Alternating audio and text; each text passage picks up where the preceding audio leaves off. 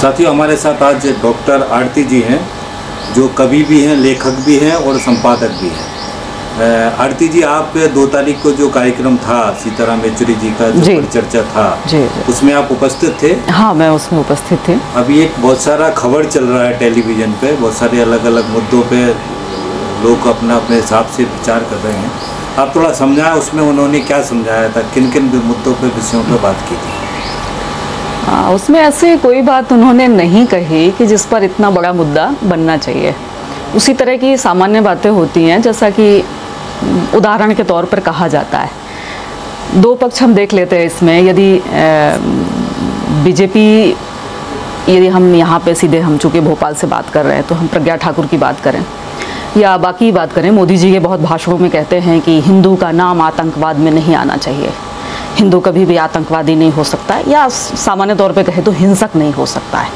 उसी के रेफरेंस में सीताराम येचुरी ने कहा था कि ऐसा नहीं है कि हिंदू कभी हिंसक नहीं रहा है, या उसने कभी हिंसाएँ नहीं की हैं, या दूसरे धर्म के लोग ही हिंसाएँ करते हैं। किसी भी धर्म के बारे में जब बात की जाती है तो हमेशा उसके एपिक से बात की जाती है। उसके एपिक में वो एलिमेंट खोजने की कोशिश की जाती है। मैथोलॉजी में हम जाते हैं। तो हिंदुओं के सबसे बड़े दो ग्रंथ हैं, रामायण और महाभारत, जिसका उन्होंने ज़िक्र किया था कि उसमें भी भरपूर हिंसा भरी हुई है। महाभारत की बात करते हैं तो आप द्रौपदी के साथ जो कुछ हुआ, क्या आप उसको हिंसा नहीं मानेंगे? लाक्षागृह में जो कुछ हुआ, क्या उसको हिंसा नहीं मानेंगे? आपसी संबंधों के बीच में किस तरह की हिंसाएँ भरी हुई हैं? कि मुझसे भी कोई इस तरह के सवाल करेगा तो शायद मैं उसको समझाने की कोशिश इसी तरह से करूँगी कि धर्म विशेष को इसके साथ ना जोड़ा जाए, कि हिंदू आतंकवादी होते हैं या मुस्लिम आतंकवादी होते हैं, या मुस्लिम केवल होते हैं, ईसाई होते हैं, हिंदू नहीं होते हैं। ये मानव की, हिंसा जो है मानव की प्रवृत्ति है, जिसे अनुशासनों से संयमित किया जाता है। केवल बात इतनी सी है। तो मुझे लगता है कि इसको बढ़ा चढ़ा करके चुनाव के समय में एक मुद्दा बनाया जा रहा है।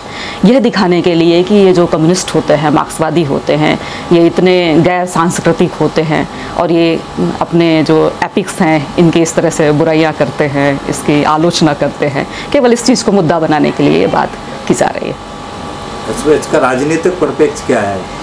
आ, राजनीतिक परिप्रेक्ष्य चुनाव के समय तो किसी भी चीज़ को मुद्दा बनाना होता है।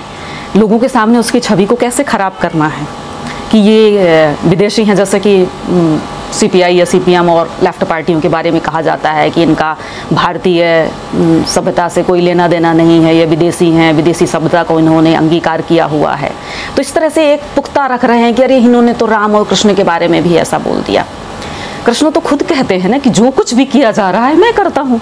तो स्वीकार करते हैं कि इतना बड़ा युद्ध है जो महाभारत है, मैंने ही करवाया है। मेरे अलावा कोई नहीं करवा रहा है इसको। अर्जुन को किनारे कर देते हैं। अर्जुन बस केवल बाण चला रहे हैं और काम तो और कृष्ण कर रहे हैं। तो उन्होंने ही कहा है कि संसार में एक पत्ता भी मेरे इशारे के बिना नहीं डोलता है। तो इस तरह से तो ये एक बहुत बड़ी कहना चाहिए ये एक प्रमाण है खुद उनके मुँह से कहा हुआ।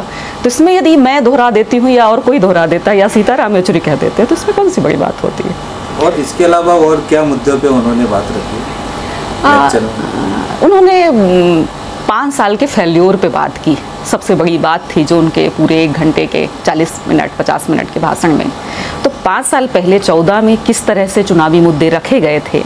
और कोई भी सरकार आती है, जो सरकार विकास का दावा करके डंका पीट करके आई थी कि वो केवल विकास करेगी और कुछ नहीं करेगी। पिछली सरकारों ने, पैंसठ साल की सरकारों ने कोई विकास नहीं किया, सत्तर साल। वो अपने तो पाँच सात साल, दस साल हटा देते हैं उसमें, सत्तर साल कहते हैं दूसरी सरकारों के, वो अपने बीजेपी के शासनकाल को भी नहीं गिनते हैं। तो उन्होंने कहा था कि इन्होंने कोई काम नहीं किया है अभी तक। तो बाकी क्या करेंगे? इस देश का पूरा विकास कर देंगे।